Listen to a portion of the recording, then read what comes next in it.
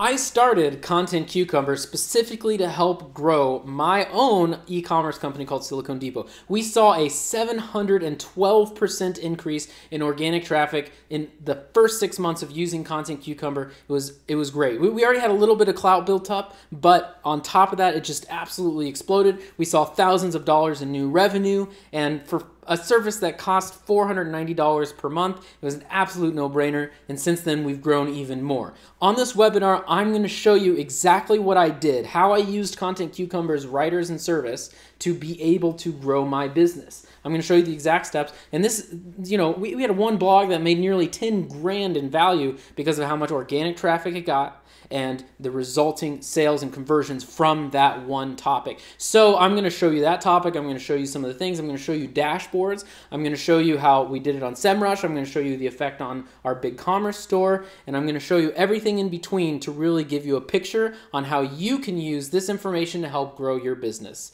We'll see you there.